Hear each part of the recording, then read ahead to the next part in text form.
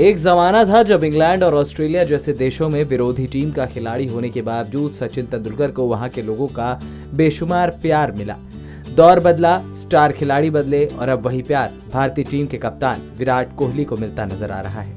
दरअसल T series के लिए आयरलैंड रवाना होने से पहले विराट दक्षिणी इंग्लैंड के हार्ट हार्टफोर्डशर में अभ्यास करने पहुँचे थे, जहाँ एक खास नज़ारा देखने को मिला। विराट कोहली हार्टफोर्डशर के मर्चेंट टेलर स्कूल में अभ्यास कर रहे थे। जिस दौरान वहाँ पर स्थानीय बच्चों की भीड़ जमा हो गई।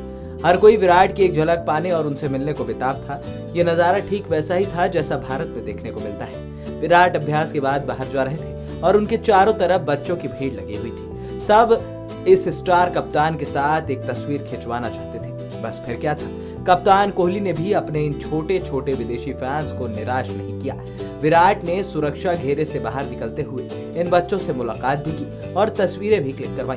विराट से मिलने के बाद इन बच्चों के चेहरों पर मुस्कान और उत्साह देखने लायक था। नेक्स्ट नाइन स्पोर्ट्स टेस्ट की रिपोर्ट अगर आप भी बनना चाहते हैं एंकर और रिपोर्टर वीडियो एडिटर कैमरामैन या फिर स्क्रिप्ट राइटर तो हमें संपर्क करें।